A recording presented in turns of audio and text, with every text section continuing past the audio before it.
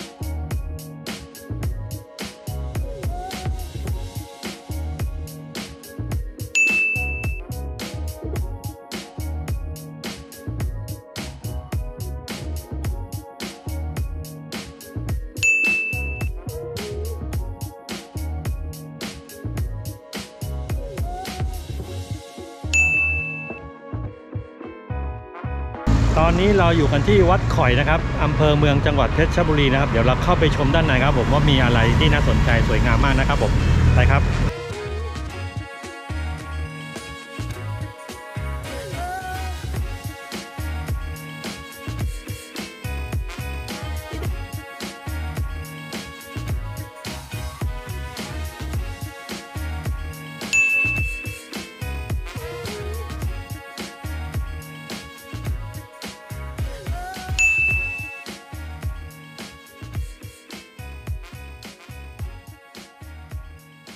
หนึ่งครั้งนะคะ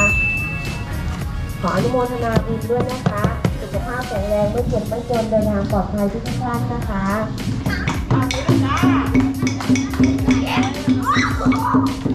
ครับตอนนี้เราพากันมาเที่ยวที่เขาหลวงจังหวัดเพชรบุรีนะครับนี่นะครับ เราไปเข้าไปอ่าสแกนแล้วก็เช็คอินเรียบร้อยนะครับ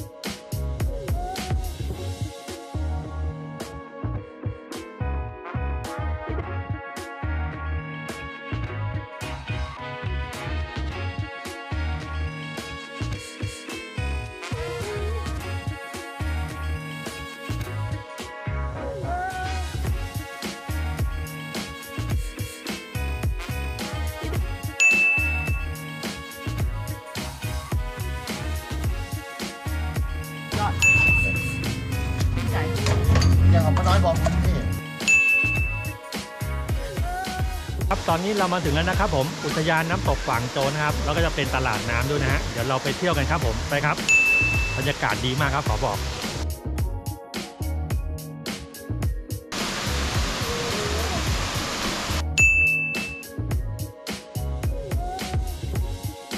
ไม่มีหมูค่ะเพราะว่าตรงเพราะว่าส่วนมากจะเป็นคนเวียดนามเข้าค่ะก็เลยไม่ให้ไข่หมูกับไก่ก๋วยเตี๋ยวไก่แบบไม่ต้องมาราดได้ป่ะได้ค่ะ